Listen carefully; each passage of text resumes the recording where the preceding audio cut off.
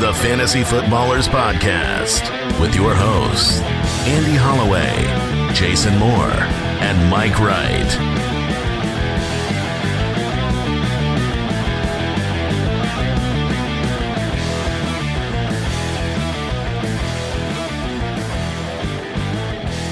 Welcome into the show.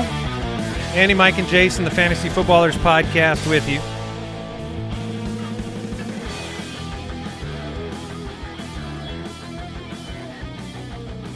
It's Wednesday, January 4th. We have the whole crew together today. Back with you after a uh, hiatus. We were not, we didn't do any show yesterday, no DFS show yesterday. Obviously, all of our thoughts, uh, prayers, hearts, and minds have been entirely focused on the Damar Hamlin injury, the response to that, and the continuing uh, you know situation where it's becoming more and more evident day by day the reports that we get this is going to be a long road Right. uh, to potential recovery for Damar Hamlin. I think you know I speak for all of us when I say absolute unprecedented injury. The situation would just you know sobering for all of us. I mean, it was just something that you you know I think in the back of my head, and we've had a lot of conversations in the last couple of days now about what transpired on the field. And, you know, in the back of my head, it was always something I feared as a football fan. Um, we we have this show and we talk about fantasy football, um, championship week, player nicknames, ridiculous statements. Like everything about this show is, and I tweeted this. You know, it's it, this show's meant to be kind of a distraction from real life Mm-hmm. and it's worked really well when that real life hasn't touched our sphere and our world, the NFL world. Um, and we pride ourselves on being that for you, like being able to come in here and say a bunch of ridiculous, stupid, grammatically incorrect things, Mhm, Yes. um, which seem to be Some of us are better than others. which seem to be a salve, you know, in the midst of uh, of real life, and, and and we take great pride in that. But when it hits you in the face, at the pinnacle of what you talk about, um, you know, it's it wasn't possible to come on here yesterday and make a bunch of jokes and talk about the trivial things that are, you know, fantasy football is trivial in comparison to what took place. Yeah, we can't we can't be the distraction from the hardships of real life when the hardships of real life are exactly wh- what we're dealing with, what we're watching, what we're participating in. And it was, you know, it's one of those really sobering, tragic events that, uh, you know, unfortunately and fortunately bring good conversations together, uh, bring uh, you know people together. We've seen uh, just an outpouring of unity from NFL, from all teams, from players, from uh, fantasy managers, from all walks of. I mean, even outside the NFL scope, wherever you look, uh, the Damar Hamlin situation is is there to remind us that there are obviously things that are far more important than football, than playing a game, than playing this game about the game uh, of football uh, that that we play. Yeah, yeah, and I, you know, Mike, I don't know if you want to add anything to the equation here. This is not. I think it's really important to me that, you know, nothing we say about Damar Hamlin needs to be the focus. Damar Hamlin needs to be the focus. Like, um, his family, his friends, his teammates, um, his his broader community in the NFL. Um, you know, that's the focus. So, you know, I have been, you know, Jason mentioned it with fantasy managers. Like I've been genuinely moved by the the unity behind the focus on the health and well-being of Damar Hamlin as opposed to like look, the reality of the situation is is this was a consequential week for this game we play. It's consequential for the NFL. it's huge. Um, you had two teams uh, that were playing an extremely important game to their schedule uh, that we do not know how that is going to carry out through the remainder of the season. But to see people, like you said, come together for this young man who's 24 years old, who, um, by all accounts, is an extremely humble, community centered, um, gentleman that just has made it a focus of him to use his platform for good. It's been rewarding to see that. I I look forward to uh, hopefully him waking up and and recovering and seeing this outpouring of support. And I hope it sets a precedent for the way we approach the NFL injuries and um, fantasy football, eh, you know, for the future, because you know sports betting and, and fantasy, like it just all fell away immediately, as it should, as it should. And so we, you know, we wanted to get on here today. We're going to have a show. Um, you know, the, what's in my head is the idea of moving forward and not moving on. So we're going to move forward with some, you know, discussion and conversation about playoff scenarios. I know that there are fantasy players that play in Week 18, and uh, but our hearts are with Damar Hamlin and will remain there. And Yeah. so that's going to be the focus, right? Yeah, Yeah, and the it, seeing, um, you know, like you feel so helpless. Of like I am, I'm watching this with my son, and like I, I have nothing to do with these people, but we, our family, became immediately involved with this, and so you're just, I mean, you're staring at a at a television screen, watching people who are, you know, like like your job is to somehow talk your job is to talk about football. And you're not trained to be this type of a journalist right? And so it was it just something watching you know the, these people uh, these analysts on espn how they're responding to it. We have uh, at this uh, on this show like personally like booger mcfarland right was on monday night football for a season. It didn't feel like the greatest fit, and there was just a, a lot of like you know fun kind of at his expense of of like you know, like he had the booger mobile. It was just like It was know, it, wa- it, it- was ripe for um for, For co- joke for yeah, jokes for and jokes and comedy and, and commentary. making light of it. Where's and the booger mobile? right, and I mean, and he took his demotion in, in stride and just and he stuck with the company. And we've talked about in this office of Yeah. like his watching him react to the situation was incredibly moving of someone who has the experience like knows what he's talking about. We're all just we're we're idiots who So far we've never removed. we've never played the game admittedly.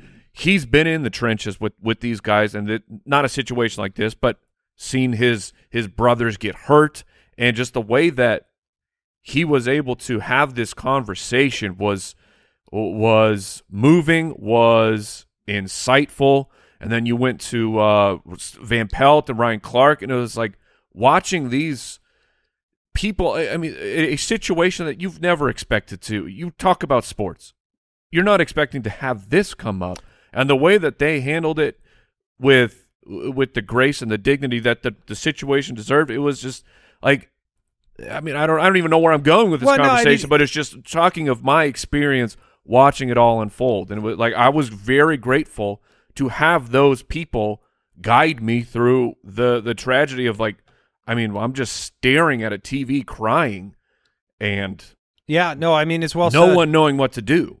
Yeah, but they brought a, a tremendous amount of humanity hmm and insight to the situation, and they did it, you know, not because they were trained in how to do it. It was just it was just being uh, genuine and like Being you a human. Yeah. I mean, it earned a great deal of respect for Booger Yes. that night and the way he responded to that. So many we're we're in the world and we're part of it in a way of talking head world, right? Yes. Where like I mean there were other voices that you know you, you get out and you have to have a take on everything. You can't just be a person. You have to have a take. And so you saw some people and I I, I agree the coverage was human. Yeah. So I mean the situation is human, right? And that is our our game is a game for a game. Mhm. And so, um, yeah, it was it was a was and is a tough tough situation to um, to deal with. It's been, you know, we were we were talking also about the decisions to be made moving forward, about the schedule, the the amount of people involved, the the way that you know we, we need to kind of transition into what's going to happen with that game, what's going to happen with motivation levels in week 18, and and what transpires. But um, and I think I'll just move into that now. Sure. I, I we don't you know we can just start talking about that. But there's a lot of implications for what is going to take place uh, in terms of the, and again, this is all extremely secondary. You know that listening to the show. But as we move into this discussion, we look at what the NFL announced. The Bengals Bills game it will not be resumed this week. Uh, they have not currently, nor do we expect them to make changes for week 18 of the NFL season. Fantasy platforms, uh, the F uh, PPC, is that right? I'm, I'm, or sorry, the NFFC. That's what I meant to Hmm. say. You know, they've they've sent out. You know, there's a lot of implications on what transpired in that game. Do you stick with the stats? Do Right. you wait? Sleeper came out and said, uh, "quote Given these unprecedented circumstances, we will be scoring Week 17 as is. If the NFL resumes the game at a later time, there will be an option in commissioner tools to rerun the results. That will be an option, not a default. So commissioners will have to make a decision within their platform based on what their league wants to do to, you know, if they play this game, which I I- it's a possibility. Yeah. Um, if they play this game uh, to retroactively apply points for the resumption, you know, the resumed game. I don't know if resumption's a word, to be honest with Yeah, you. Yeah, sounds- I don't think that's wrong. a word. No, it definitely sounds wrong. Oh, I thought and it to sounded you, right. to Yeah, you. if it sounds wrong to me, it's, Um, I mean, I knew what he meant. yes. so, so it's the- been resumpted. yes, resumpted. um, but yeah, I mean, definitely unprecedented is the right word for this. It's really, really hard when you look at the league's decision about this game. And I think a lot of that needs to be about what these teams want because if Buffalo, like, it's going to cost them to not resume this game. Right. And that's not just home field, it's also a bye week. Like Mhm. they have the potential to have a week off. And so, you know, it's really tough to look at it and say the that it's more fair to not play it because it hurts them and their their team. But I hope the league is talking to them and it's a lot about those players and there are situations I and and and Kyle, correct me if I'm wrong about the implications here. But if Buffalo loses to New England this weekend, they would not need to play that game to have the possibility of a fir- and, and and Kansas City wins. I'm saying so. If Kansas City wins and Buffalo loses to New England, does that game have any implications at all for for Buffalo? No, they go by win percentage as the next kind of thing. So no. And then if if if Baltimore were to lose this weekend, are there any implications of any kind for for Cincinnati? No, Cincinnati would be the three seed. They would play each other again in the playoffs, which is another So there, there there does seem to be a fluidity here, is what I'm saying. There's a possibility that what happens this weekend would determine whether or not this game needs to get played. Uh, I think that's 100% why they have not come out and given their answer because their answer could change. If they were to play this game, if they were to continue on the resumption plan, then that would come after week 18 games. I'm guessing. it's a that- word. Yeah. Well, that's why I used it again. um, this great word that Jason has brought to the forefront Thank- of thank our you, minds. Mike. Thank you, Jason. you are very welcome. Um, anyways, if I may resumption here. uh, It's All right, Jason- go on. No, Jason, it's, you're resumping. thank you. Uh, I need to resump here. Thank Uh, you. Uh, but you know that would be played after the Week 18 games, most likely pushing the playoff weeks back a week, keeping the Super Bowl where it is because there's that week break between the Super Bowl usually. Uh, I you know obviously how the Kansas City game goes and how the Buffalo game goes this weekend will have an effect on that. I think the most likely outcome right now is that this game will not uh, be played, but that is certainly no guarantee right now. And if that game does not does not resump, then you have a real question for for fantasy managers in their leagues. All these championship games, assuming you're not playing into week 18 and, and week 17 is your championship as it should be. Then there are two courses of actions. If the game is not played, or if the game is played. If the game is not played, which I think is the most likely, like Sleeper said, then it's over. The the the scores are in. That's how they are choosing their champion, and um, you know, it's one of those things that is you, you you deal with this when you put a player in your lineup, and you know, unfortunately, situations out of your control. You know, Derrick Henry wasn't injured. I couldn't have him because of situations out of my control, and I think in most situations that's the right approach. Is this is what ha- happened in the game. These are the points that were scored. That's what the NFL is moving forward with on the record books.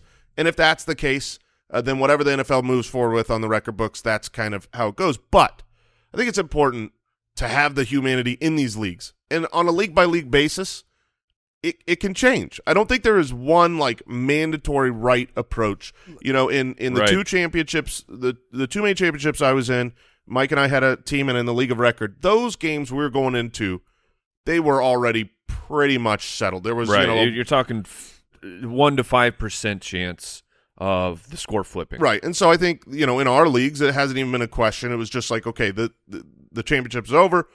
In a league where it was really close, if it's like a 50-50, it's going to be a toss-up, it's going to be a coin flip. Um, I think that might be a tougher pill to swallow, and that's a league-by-league basis where maybe you take a vote and say what you think should happen. I know a lot of leagues, they're the co-champions. You I know, was going to say, yeah, you're right. The co-champion. Th- uh, this just happened in in the CBS league I play in with great friend of the show, Jamie Eisenberg. Sent an email out. You know, this game had players from both teams in the championship on both sides. So it's like, you know, you had no idea how this was going to turn out. Three players on this side, three, you know, two players on this side, co-champions, and um, you know, you made made some contributions to the uh, Damar Hamlin um, charity situation, which Yes. kind of mind blowing. Really, the the idea. I mean, That that's, that's, over I, five million dollars, right? That's I mean, where I was going when I lost my train of thought in the beginning of like what, how, I there's nothing that we can do, but we're but but we're also locked into the situation, and and you're like, well, well, what is this person about? What is this person supported? And then there was this over six million now. yeah, so there was a, a GoFundMe, a, a toy drive from Damar Hamlin that got uh, that, that got raised up and, and elevated to the p- more public eye, and this thing has just exploded and has been we'll get a- that out on Twitter. a treat, just like like a like it's so it's so nice to see humans get together every once in a while and support each other in the same thing. Yeah, the the, the original goal was just twenty five hundred dollars, and what was it at, Andy? over It's six right now at six point two five million dollars. It's incredible. with over 200 almost 206,000 people participating. And we'll get that tweeted out in case you wanted to uh, Yeah, the- contribute. the, Chasing M's Foundation Community Toy Drive. yeah, so th- it's, it's pretty incredible. Um, but yeah, I mean, I think Jason's right. I think every league you can you can kind of determine the outcome that you want, you know, whether by vote or just by sensibilities and whatever whatever the case may be. There's there's not really a wrong way to execute Right. the end of that Yeah, season. I, know that there are you know, there are high stakes leagues and there are underdog tournaments and those things have very you know, impactful financial implications and they have to handle those in the the way that they see fit and you know, lean I know all of them are leaning on like terms and conditions that talk about canceled games, that talk about um, what takes place in that event, and so And that that's where I think the hard and fast rule. If you look at those big money leagues where money's changing hands, the betting markets, things like that. The, the at the end of the day, it's whatever the official rule book has is is what happened. yeah. And from what I've seen in those, there is no, there's certainly not going to be any retroactive um, application of points based on resuming the game later. It's going to be um, at least with the uh, the national one that I looked at. If a game's played in a future week, it counts for that future week, so it doesn't count for the week that is is has taken place. So, yeah, I mean, I, never seen it before. Right. I mean, we went we went through an entire you know COVID season and, and thought we would be dealing with this type of situation a lot from a schedule standpoint. We we didn't deal with it that much. Um, so we'll we'll move uh, we'll move forward and talk about some of the Week 18 information. I know that there are a lot of you out there in need of guidance, and we're going to look at the motivation of uh, of teams heading into Week 18. I wouldn't say it's entirely settled. I would say we have a good indication of what teams are going to do, but there are there's definitely room for certain teams to make an adjustment. You know, where where the coach speak right Yeah. now goes from like certainly we'd like to win the game to rubber meets the road and what's the depth chart look like on Sunday? Yeah, you're talking about the Tampa Bay Buccaneers. I'll bet. I mean that that's the one that I'm looking through squinted eyes at the. Uh, I do not trust you, Todd Bowles. Quote, don't want to take our foot off the gas. Yeah, that sounds great. That sounds like you're going to play uh, your starters. But then you look at the betting markets and you go, wait, Hmm. Atlanta's a heavy favorite in this game? It is a good thing to look at. to kind of understand, maybe weed through it. Yeah, like uh, the way that I uh, look at these games is it's it's risk. It's how uh, it's a level of risk that like the the Buccaneers. I don't think you're going to know until the games are being played. What like if Tom Brady's inactive for the game, that's humongous. But I'm guessing that a lot of these players will be active, and you won't know if you should play play them or not. And you and the, coaches aren't going to tip their hands of if players are going to be in. So this is just laying out which players could see part time and whether or not you're willing to accept that risk for that level of a player. Yeah, and um, you know, you also have situations like, uh, like you said, you know, Washington's going to play Taylor Heinicke now. As reported on the Fantasy Footballers on Monday. Snip, snap, snip, snap. Drats, my bet. But uh, Yeah. oh, the Carson, yeah, the Carson Wentz Matt versus Ryan. Matt Ryan. But they also said they're going to play Sam Howell in the game. Yes, So it's like- best quarterback. So it's like, uh, and you don't know how is it a quarter for Heinicke and three Right. quarters for Howell. Those situations will arise in all of these games. The the teams that are in the, you know, we kind of categorize these in five levels of motivation. Um, level one is like clinched with little or nothing to gain from playing their players. That would be the Buccaneers. You know, they're eight and eight. They've clinched. uh, They've locked the four seed. Um, you're gonna have a home game for the 500 Buccaneers. Uh, The Giants are locked into the sixth seed. They've at least been a little more forthright of of head coach Daboll has said, we're going to do the best thing for our team. Mhm. So That sounds a lot like when Derrick Henry said, "I'm going to do whatever coach says," Right. which means not playing. I, and, and there's been uh, reports from beat writers uh, around the the Giants that say that they expect the Giants to rest their starters. That is my expectation as well. What is ironic about that is that the Philadelphia Eagles winning or losing this game has massive implications on other teams. Uh, and I would and not it seems like they're going to win the game. Yes, I would not expect the backups of the Giants to beat the Philadelphia Eagles, and so Well, they, which is funny because if you if you t- if you take that logic train as another team, and you expect the Eagles to win, yeah. why do you play your players for the chance to take the Eagles spot that you probably won't have the opportunity to get? Well, the NFL's done a good job with scheduling and trying to have certain games in the mornings or, you know, flexing games to Saturday so that hopefully the majority of these teams don't know what's happened yet.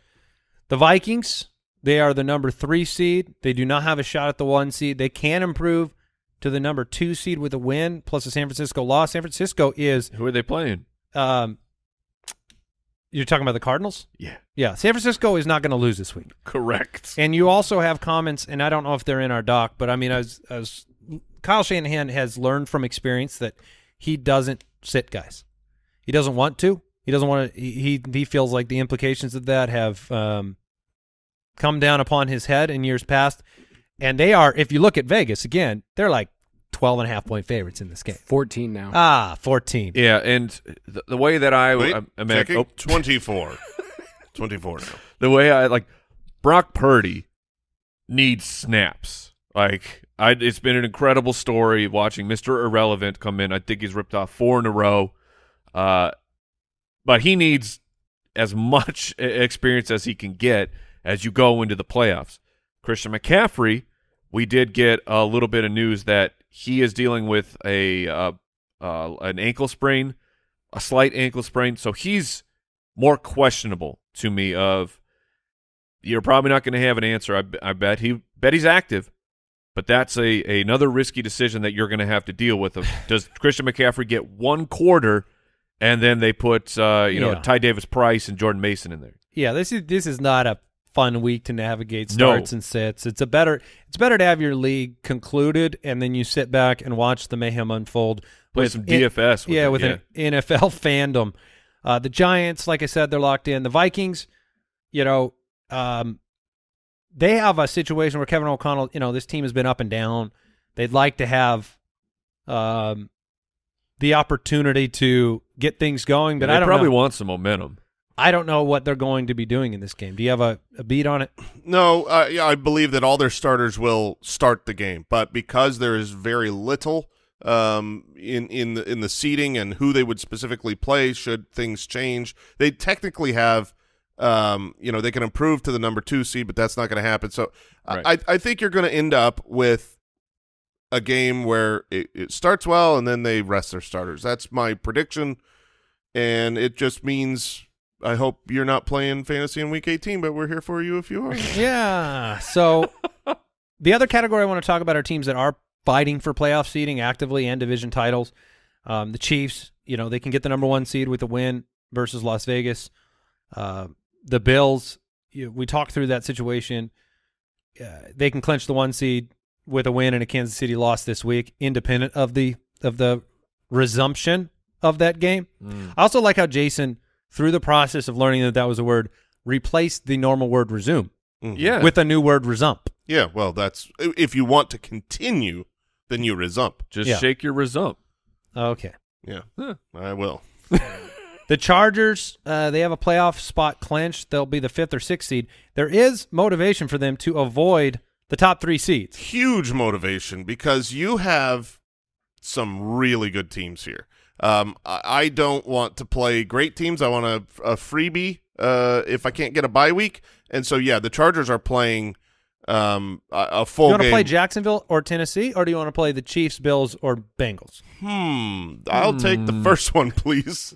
I mean, I, I think they'd go in the favorite, right? I mean, you're, you're talking about going in a massive road underdog or a potential road favorite uh, in their first round. So, you know, I think that they could give it a go in this one.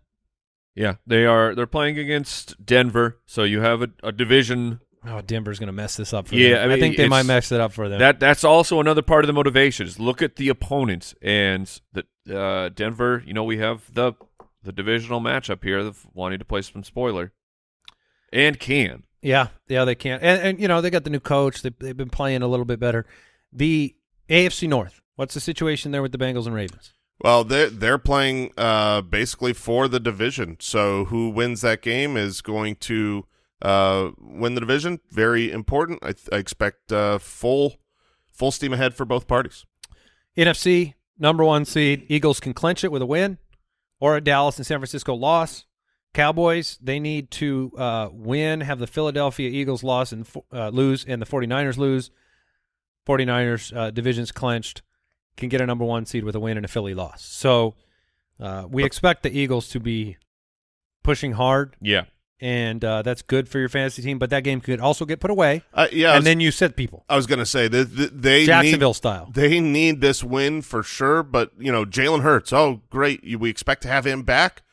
If they're playing against the backups for the Giants, yeah, the second half of this game, it could be twenty-four to nothing, and you see the backups completely in there. I mean, um, it it's important and should be too easy. I'm I'm playing my Eagles. Like I I completely understand that that is a risk, but if they've put the game away, Then they put you- the game They away. put the game away with points and fantasy points, and you're just you're hoping that it was your player. Yep. That came through with the ETN, touch- not Lawrence. Exact, exactly. Jacksonville last week is the best comp imaginable. Yes. I mean, if you had any of the running backs, you were super happy. Any of the passing game, you were super upset. But they they smoked them, and I expect the same thing here. Speaking of Jacksonville, they face Tennessee. This this is it. This is why we didn't have Derrick Henry in the championship round. Winner takes the South. That is a full motivation game. uh, play all of those players. I know Jacksonville's uh, favored in this one. Is it three or four points? Let me look it up. Yeah. Also, in addition, um, both Zay Jones and Christian Kirk have very achievable, and it, it's really great the way their contracts are structured. Six and a half. They the have um, incentives that is big money bonuses for these receivers if they hit them. They're close to some, and then there's like a stretch goal. B You and you got- B's. What? what? Got some B and B's in there. They got some B and B's in there, and but so they Big can money bonus. They can hit these big money bonuses. Mike, Mike could not put those together. They well, I hit- was hearing B and B, Oh no. and I was trying to figure out business, not business. right. So, um, uh, you know, you beat the Tennessee Titans by throwing the ball around, and these players in the final week, obviously, their goal is to win the game. That's goal one. But they know what, you know, Mar- if they're one reception away from hitting a, a hundred and fifty thousand, or a, in some cases a five hundred thousand dollar bonus, you know that they know that. Player, yes, and player players know this. Oh yeah. and players support their teammates and their brothers of trying to get that bag. for What 'em. do you call a a big money bonus that is achieved through the passing game? Uh, I don't know. An Airbnb. Oh, there it is. Oh, there it man. is. Oh, We're, we're Oh, back. wait, you're going with the rim shot? well, that was just a perfect like classic. No, that's a rim shot joke. Yeah, That, that was that was a, a setup punchline rim shot joke. exactly. Yeah, no, I, I appreciate it. Uh, the number seven seed. Oh boy, they're. I don't even know if I want to read through all of this. Patriots. They have to win at Buffalo, or Miami loses and Pittsburgh loses. So win and you're in for the Patriots. Mhm. Uh, the Dolphins. You got to win Mhm. versus the Jets and have New England lose. The Steelers. You got to win versus Cleveland, and have Miami lose and New England lose. The Steelers can make the playoffs. Yeah, Yeah, the Steelers baby. can make the playoffs. Yeah. And and what's crazy With that about Najee touchdown right at the very end. What's absolutely Go Tomlin. what's absolutely crazy Oh, they'll make about it, and that then they'll eliminate Baltimore. just, is just get ready.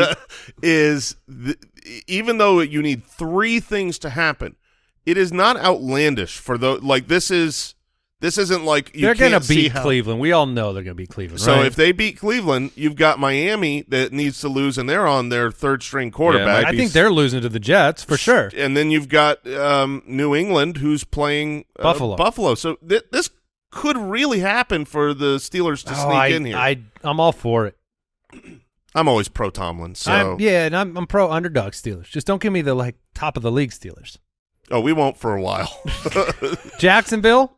Uh, they could technically still get in if they lose, but they need a lot of stuff to go right. So all, all, of the these, earlier teams have to lose uh, along with them, and then they'd make it. basically all these eight and eight AFC teams have full motivation. Start every player in those games. If you're playing DFS, those are important uh, matchups. And then the last one's the number seven seed in the NFC. Which look, I wish, I really wish the Packers Lions game was a win and in For both teams. for both teams because it is for the Packers. It is the which is wild. Like if the Packers and Steelers just both get in, it, you just look at those teams and you say they just find a way. And the the NFL is usually so good with the the scheduling for the Mhm. final week of the season for all of these things, so that teams they can scoreboard watch while they're playing, but they don't know for sure going into the game. Unfortunately, This is their one mistake. the the Seattle Seahawks play in the morning against the Rams, and if they win, then Detroit is eliminated. Now, Yeah. I don't expect I don't expect Detroit to sit their guys against the Packers. They're going to try their hardest. Like with Dan High T Campbell up there, they're going to go all out to try and knock the Green Bay Packers out. This but, but they will know. And and it would be a winning season for the Lions too. That's that says a lot to go to nine and eight. I think they'll have full motivation no matter what. Um, f- from a standpoint of being able to play players, you're talking about keeping the divisional uh, dominator over the last decade, uh, sending them home with a loss, sending them out of the playoffs. This becomes, if you're the Lions, Yeah, your Super playoff Bowl. Yeah, your game. Super Yes. This becomes your Super Bowl. So the only thing that stinks about it is like I really want to watch the Sunday night football game, rooting for the Lions to get in the playoffs because I just think that would be cool. Well, I think the there's a chance that we might have that wrong. Yeah, because Seattle has the driver's seat there. If the um, if the Lions win and Seattle wins, they're in, not the Lions. correct. So um, Seattle will be playing the Rams, and I'm you know you, I'm not saying that that game is a, a shoe in for either side. So uh, we we will have a very exciting weekend. Also, there is a phenomenal write up on everything we just talked about. Yes. A Week 18 playoff motivation and incentives article for Matthew Betz. It lays this out v- much more clearly than we just did. So Yeah. take a look at that if you have questions. If you want to resump this discussion, you can go over there well said. and look at that. Uh, we're going to take a quick break, and then we're going to talk a little dynasty.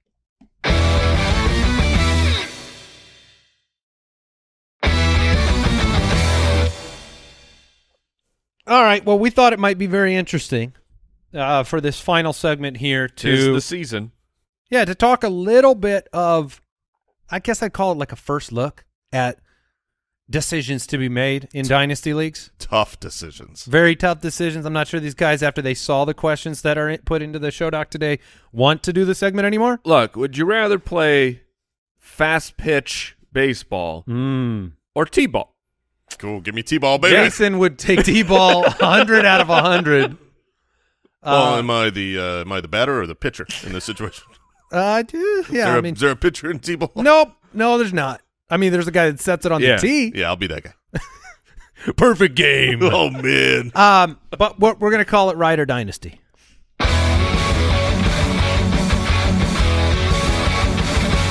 Ride or Die, presented by Chevrolet.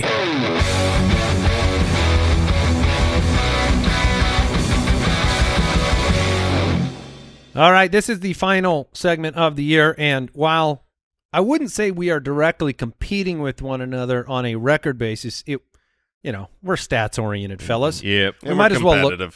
Yeah, we might as well look back and see what uh, the final tally was.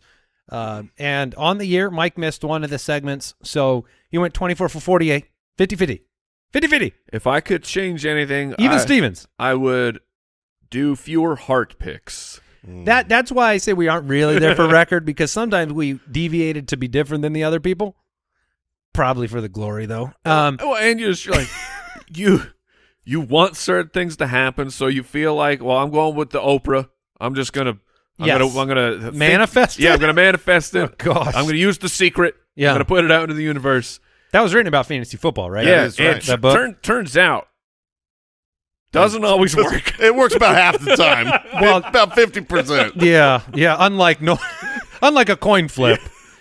No, I, and I was so much better than Mike. Yeah. uh, twenty six for fifty one. That was fifty one percent, and Jason was fifty six point nine percent. The Nice. king, king of the unders three over here. more picks. Yeah, you just doubt people, Well, you and know, you win when you doubt. pessimism pays off. But uh, we're gonna do a little dynasty edition. Ask you, ask you guys which player in dynasty leagues you'd rather ride with. Okay, this first one. do you want to ride with Trevor Lawrence or Justin Herbert? Oh. Lawrence is a year younger. I don't find that hard. really? No. Uh, so then I think I Should I find answer. it hard? No, I, I don't think I don't think you should. I, I do believe that the average person would find it hard uh, because Saying I'm average. I, I'm saying that when you hear the name Justin Herbert and you remember last year's quarterback too, throwing for you know uh, he had a combined forty some odd touchdowns and was unbelievable. He's young. He's the future, and you feel much more confident and safe because you've got three years of him being good. And he's, I mean, this is a year age gap. This is not an age gap where I think in Dynasty you should be saying, well, I, I get one more youthful season. I, I think a lot of people would say it's easily Justin Herbert. I'm on the other side. Personally, um, I would be riding with Trevor Lawrence. Uh, if I look at where the arrows are pointing, I mean, this season, Trevor Lawrence beat Justin Herbert. He was a better fantasy option all year. And if you look at the weapons, Keenan Allen's getting older. I don't know that they've got, you know, anything in place to make me believe I don't think Jordan Palmer is going to be a future superstar. Uh, you know, he is what he is. He's a he's a, a, a good, solid NFL wide receiver who can slot in with injuries ahead of him. But to me, Trevor Lawrence, he showed out this year, which felt like his real rookie year since the Urban Meyer That's Josh experience. Josh Palmer, right? Yeah, what I say? Jordan. Jordan Palmer is the QB coach. The Well, there you go. there you go. Jo- I, Joshua I'm, I'm gonna be honest with you. I'm at the age now where I was not sure if I forgot that his name was actually Jordan Palmer. Well, the good news is Jordan Palmer not I had an to do elite a wide receiver either. I had to do a, demen- Nothing I a said was dementia wrong. check on my side. I had to. Sorry, Jason. That was not that important. Yeah, so uh, you've got better weapons. Uh, you know, with Zay Jones and Christian Kirk. And Yeah, exactly. Calvin Ridley. Calvin Ridley, Do they you traded know? for him. You want to do a little Calvin Ridley trivia while we Sure. talk about this situation? Sure. Do you know he's the exact same age as Amari Cooper? Did you know that? Yeah, I- Calvin Ridley was an elder statesman when he was drafted. And Amari Cooper was drafted at 12 years old. Yeah. He's been They- here forever. They're the exact same age, went to the exact same school, and never played it down together. Isn't that incredible? Yeah, that's wild. Cal- Calvin Ridley ended up uh, ineligible to play high school football what? for the final half of his season. Because he was too age, old. age. Yeah, he was he was a 20 year old senior, and so they had an age restriction at 19 years and nine months, and they didn't let him play once he hit that age. Sure. Wow.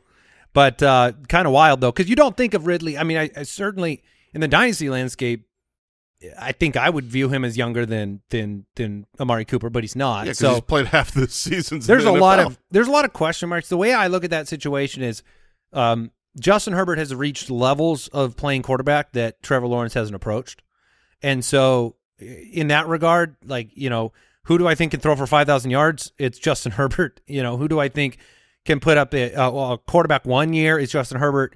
I don't want to take anything away from Trevor Lawrence's season and the and the possibilities. I don't think I'm guaranteed to be right. I think that Oh, so you are on the Herbert side. I am on the Herbert side. Yeah, and I don't I don't think there is a guarantee that Herbert's the better long-term player. I don't think that's a lock, but I think it's a heavy favorite and I think we've seen levels of play from him that are beyond anything we've seen from Trevor Lawrence. Oh, you certainly have. Um, so that you know, it's a tough one. It, it's it's a little it's a little difficult if you are, you know, th- there's decisions that are made in dynasty all the time that seem obvious and easy and are the wrong ones. So this is one where you could be, if you're in Jason's, let's let's put it to practical implications for your league.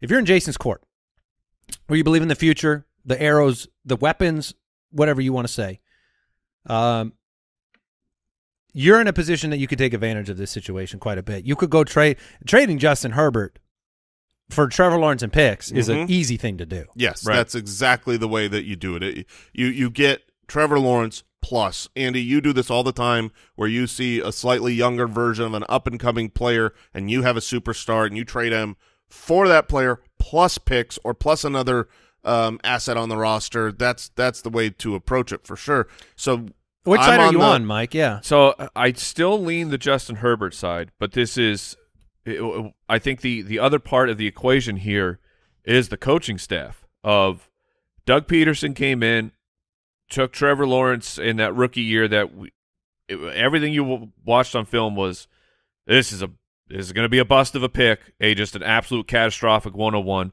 and you're like, oh no, there's there's the quarterback that the NFL thought was the the best prospect since Andrew Luck. Like, ah, I see it. Uh, the fact that Trevor Lawrence is willing to run a little bit more is also, you know, a, a point for Trevor Lawrence. Meanwhile, so uh, and the success that they have had, Doug Pederson has had, you know, offensive success throughout his career. Was of course let go by the Eagles because nothing's guaranteed in the NFL. But look at Brandon Staley.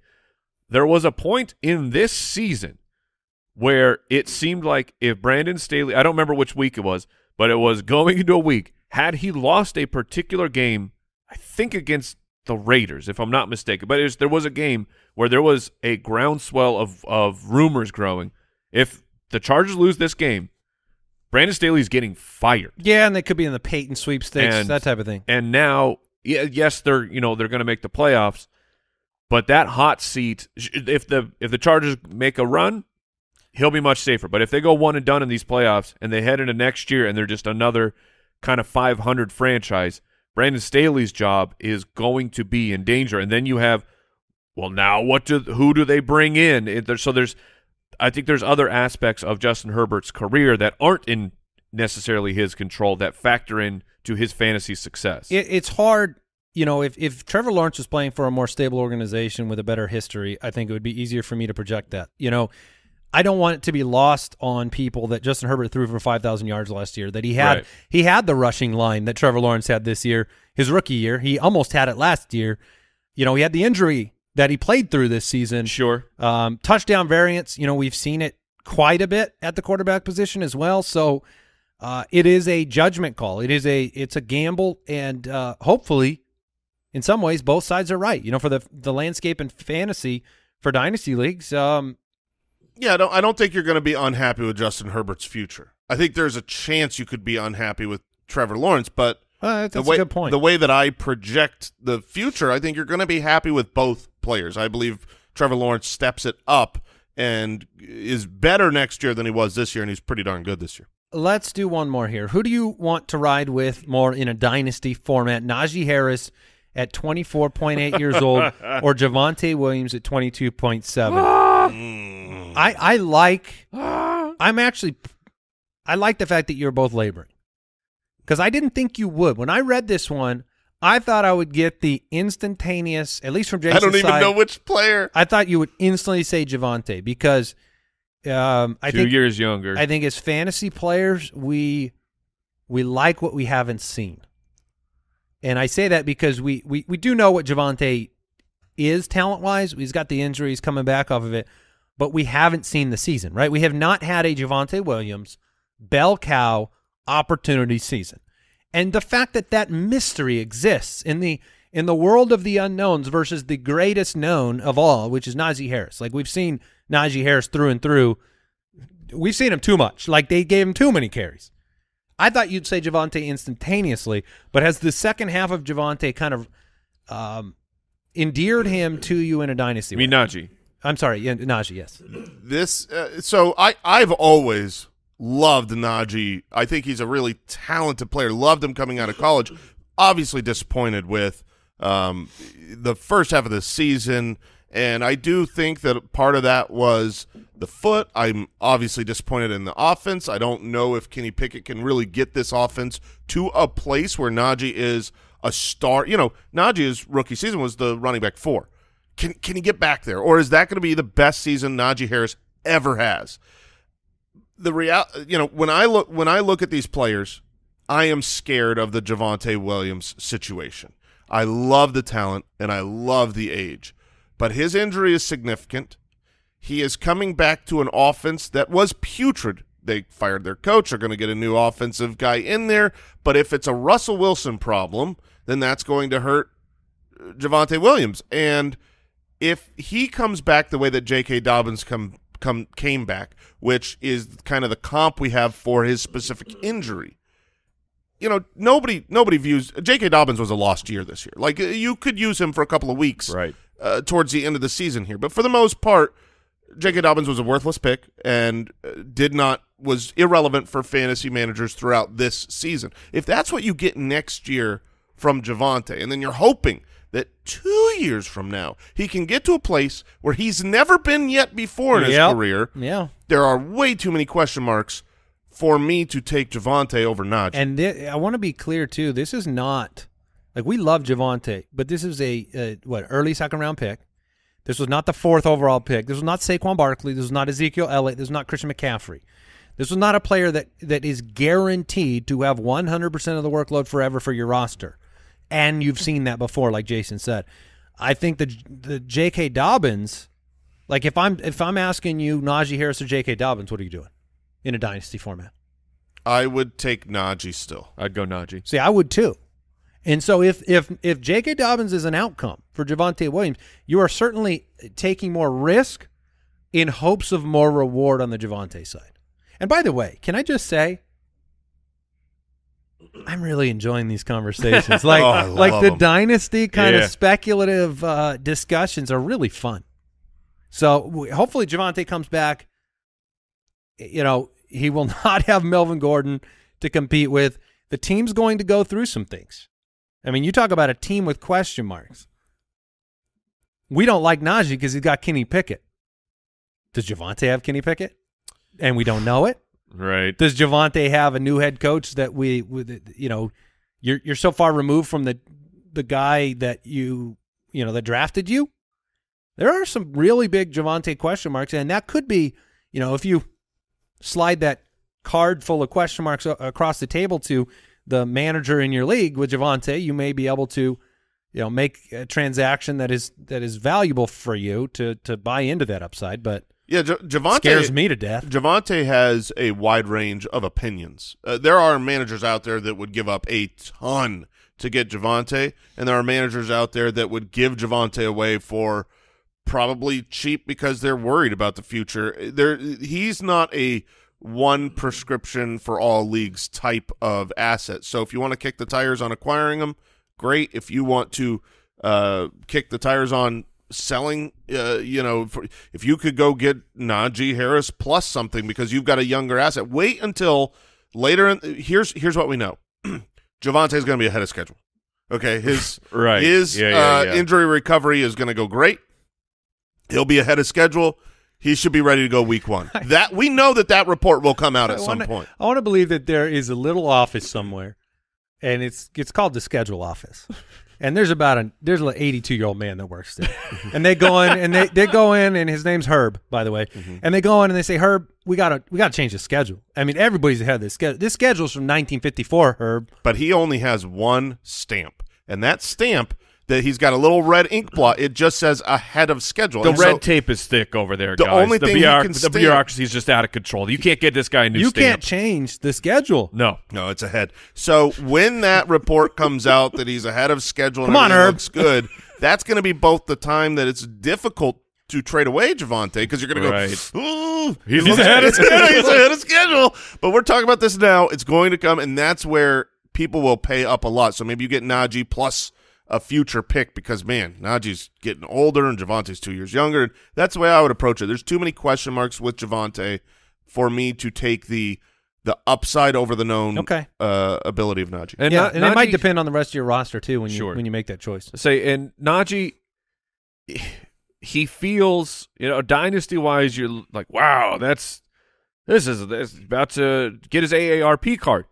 He's not 25 yet. So we still have a couple more years of Najee Harris playing at a high level. He's with Mike Tomlin, so the opportunities will continue to be there. The fact that we had the second half of this year and you like there was the reports of he stopped playing with the with the steel plate in in his shoe and all of a sudden Najee Harris you go, "Oh yeah, there's Najee Harris." I we remember him. So It feels it's a, an absolute blessing for fantasy purposes and dynasty because look, I have I have uh, a, a Najee and like I had the 101 back at at that time and it's like heading into this season it felt like an absolute disaster. I blew the 101. I got my one year from Najee Harris and now he's just uh, he's back into the pumpkin. Najee- the, the the clock has struck. But it's like no, Najee Harris is, is good. He may never be Saquon elite because that's not the type of athlete he is, but he's a tough dude. He's gonna grind it out. He's going to play through some injuries, maybe that he shouldn't play through, but you'll get tons of opportunities, and this team is getting better. And you assume that next year, even if Kenny Pickett doesn't get their offense to some great place where you're just like, oh, I want all the options of the Steelers, it should be better, not worse, as Kenny Pickett goes into the next season. And the second half of this season, like you just talked about, where he was better after their bye week, from that point on, Najee Harris was the running back seven. That's pretty good. he may end up in that category of productive, never pretty. Sure. for his career, and we may have to accept that. But that might be valuable. That might be something where he's he's RB two, high RB two for the rest of his his career, Who was, and that's uh, valuable. Cedric Benson. Who's Sure. that? Oh man, just, Clinton Portis, late career just Clinton give me Portis. so much volume. Yeah, I mean there there is something to be said about durability and Yeah. um and, and amount of opportunity. So, Availability is an ability. Yeah. In the NFL. yeah, that's what Herb said. Yep. Uh, that was Ride or Die presented by Chevy Silverado. Learn more about Chevy Silverado at Chevy.com. Doing a little Ride or Dynasty today as we turn towards the future. And a um, couple other things to note. I mean, we will, you know, we'll we'll take care of the 4.9% over the next couple days. We'll go through these matchups uh, probably rather quickly, but we'll we'll lay it out for you if you're making decisions this week. And um, you know, the Dynasty Pass. Speaking of Dynasty, that's going to go live on Super Bowl Sunday. For those of you that are new with us or, or or need the reminder, we have the the ultimate draft kit for next year that will we'll start to get into that season. And there's a lot of shows after the year. Uh, we'll be two shows a week starting next week. So we'll be here Thursday, Friday this week, and then we'll be two shows a week starting uh, next week. Those will come out on Tuesday and Thursday. We'll have an extra episode for the Foot Clan every week, so you can get access to that at jointhefoot.com. Uh, yeah, we'll get the Boom Boom Kicker conclusion tomorrow. Oh my gosh. Boom. The final chapter. Yeah, I mean this one. I think you jumped the shark. You think I already have, or you think I will? No, I think you already did. Literally, I did literally. I think you jump the literally shark, jumped yeah. the shark. Um, no, so that's coming tomorrow, and uh, I think that's it. You guys have anything else to touch on? That's going to do it. So hopefully we continue to hear positive uh, reports. We are not medical experts, and nor would I ever find it responsible to make any presumptions about the health of uh, Damar Hamlin. But we, you know, we're certainly hoping and praying that things take a positive turn. We've heard from his family in recent days, and so we will continue to stand by in prayer, in thought, uh, and in support of this situation, along with you, the Foot Clan, the community, and uh, we'll move forward. So. Thank you for tuning in and listening to the show. Appreciate y'all, and we'll catch you tomorrow. Stay safe out there, everybody. Have a good one. Goodbye.